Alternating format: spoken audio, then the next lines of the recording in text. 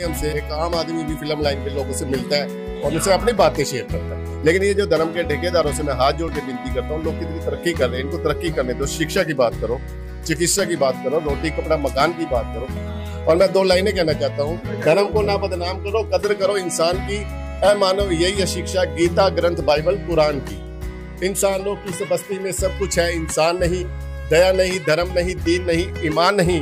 आज ज़रूरत है बंदों को अपनी ही पहचान की धर्म को ना बदनाम करो कदर करो। इंसान धर्म वही जो आदमी को आदमी से जोड़ दे।